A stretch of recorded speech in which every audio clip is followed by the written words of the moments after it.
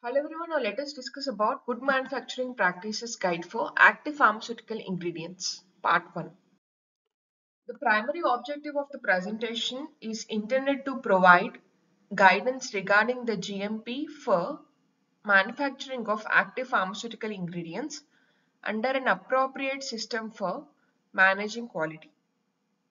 It is also intended to help ensure that APIs meet the requirement for quality and purity that they purport or represented or are represented to possess.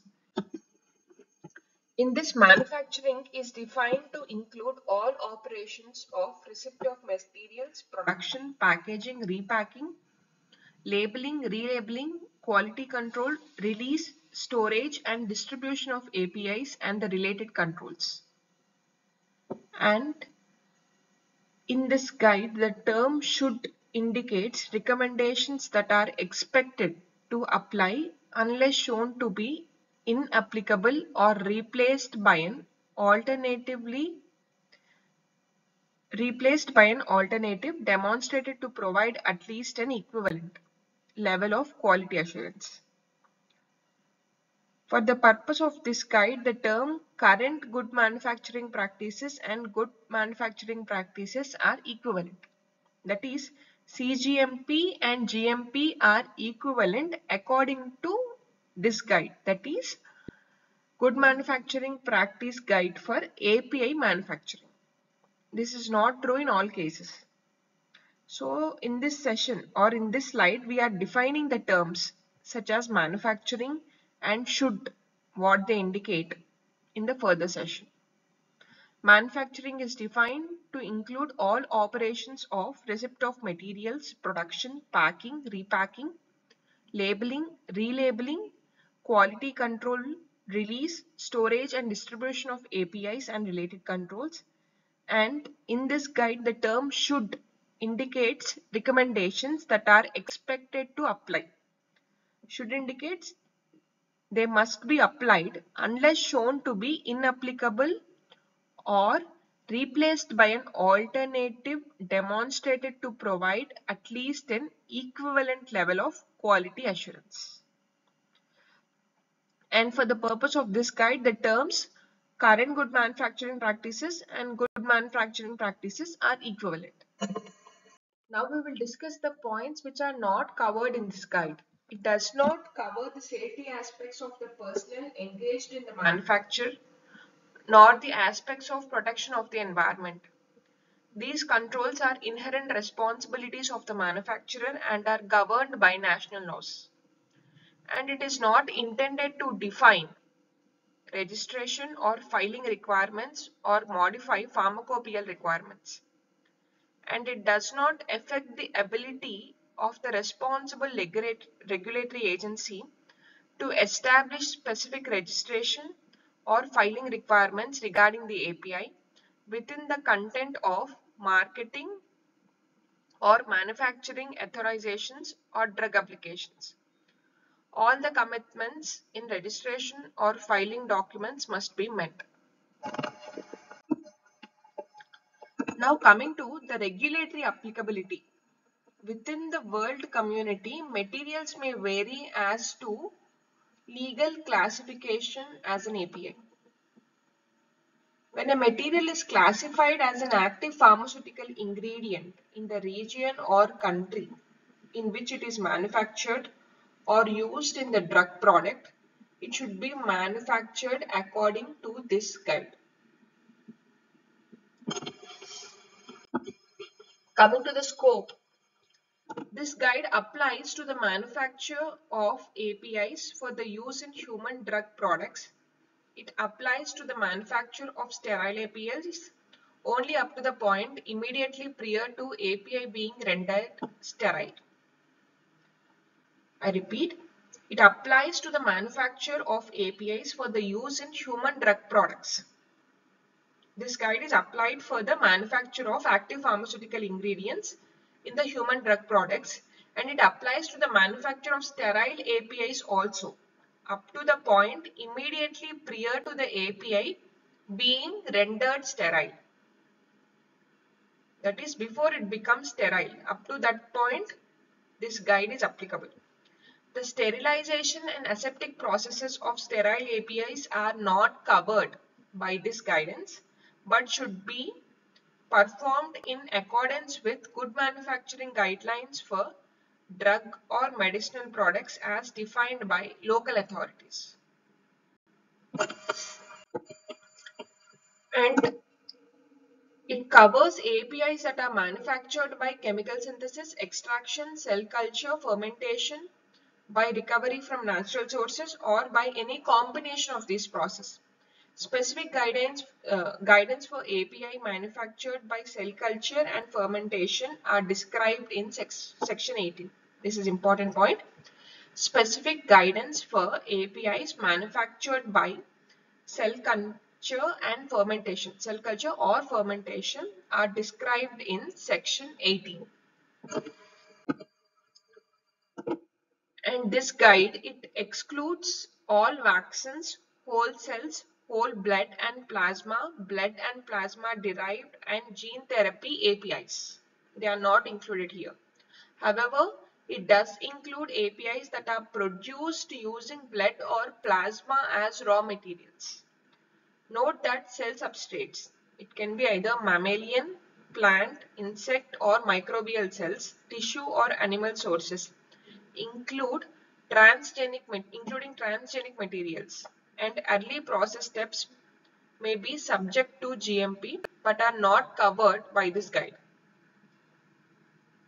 In addition, it does not apply to medical medicinal gases, bulk packed drug products, manufacturing and control aspects specific to radiopharmaceuticals.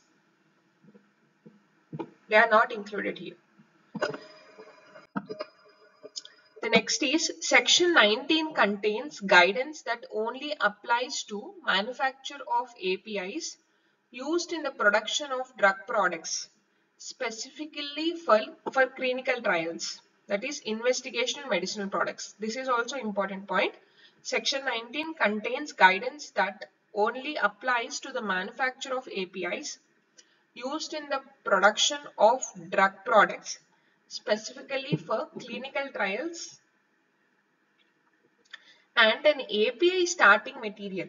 What is the definition of API starting material? It is a raw material, intermediate or an API that is used in the production of an API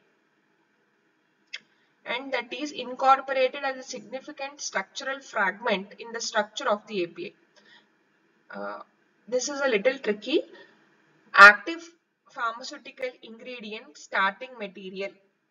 API starting material. Active pharmaceutical ingredient starting material. It can be a raw material an intermediate or a different API itself that is used in the production of one particular API and it is incorporated as a significant structural fragment in the structure of the API.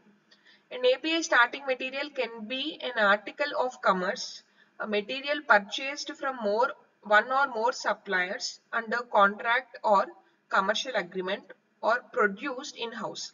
It can be any of this and normally have defined chemical properties and structures. API starting materials, they normally have defined chemical properties and structures.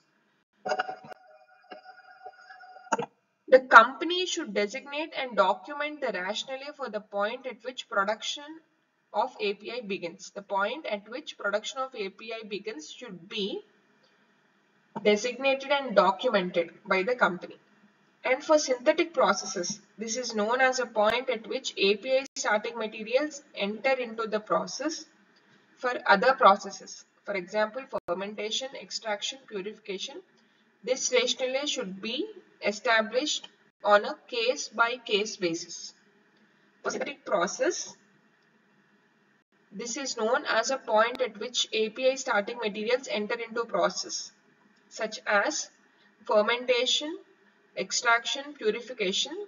The rationale should be established by case by case basis. And table 1 that we will discuss in the end of the session gives guidance on the point at which API starting material is normally introduced into the product. It will provide at which point the API starting material is normally introduced into the process. That process can be either fermentation, extraction, purification, etc. And from that point on appropriate, from that point on appropriate GMP, that is nothing but good manufacturing practices as defined in this guide should be applied to these intermediate and or API manufacturing steps. And this would include the validation of critical process steps determined to impact the quality of the API. So validation is also included. However, it should be noted that the fact that a company chooses to validate a process step does not necessarily define the step as critical.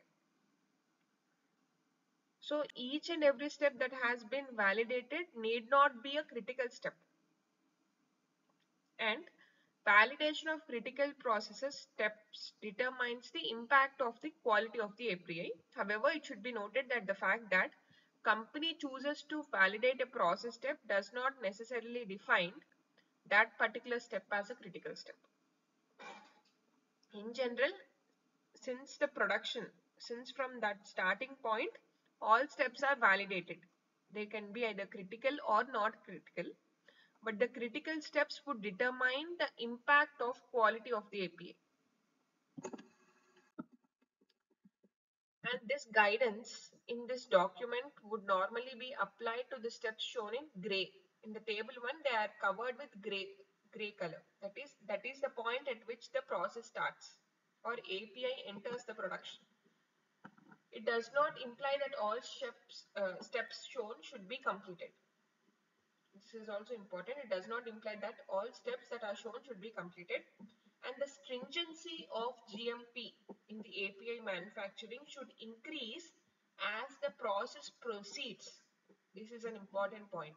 The stringency or strictness of good manufacturing practices in API manufacturing should increase as the process proceeds from early API steps to final steps, purification and packing. And the physical processing of APIs such as granulation, coating or physical manipulation of particle size. For example, milling micronization should be conducted at least to the standards of this guide. And this GMP guide does not apply to steps prior to introduction of defined API starting material. This guide does not apply to steps prior, that is before to the introduction of the defined API starting material. Here you can see this is the table application of this guide in the API manufacturing material. This gray point, gray color indicates that introduction of API starting material into the process. These are the types of manufacturing. For chemical manufacturing, introduction of API starting material into process starts at second step. And this guide will include guidelines from this gray point. It will not include the steps prior to the introduction of API starting material from the process. That is, in chemical manufacturing, this guide does not include the production of API starting material. It only includes the guidance from the introduction of this API starting material into the process, then production of the intermediate, isolation and purification, physical processing and packing. And the stringency of a uh, GMP requirements increases as the process proceeds from the introduction to the final steps of packing. And in API derived from animal sources, the step starts from third step. So collection of organ fluid or tissue and cutting, mixing and initial processing are not included in this guide. It includes from here introduction of the API starting material into the process, isolation and purification, physical processing and packing. And similarly API extracted from plant sources. This also starts from here, the gray area. And herbal extracts used in API. It starts from further extraction and for API consisting of comminuted or powdered herbs. This will include physical processing and packing only, not the before steps. And biotechnology or fermentation or cell culture. includes from maintenance of work working cell bank, cell culture and or fermentation, isolation and purification, physical processing and packing. And finally, classical fermentation to produce an API. Here, the GMP requirements start from introduction of the cells into fermentation. And as the steps proceed further, stringency of good manufacturing practices increases.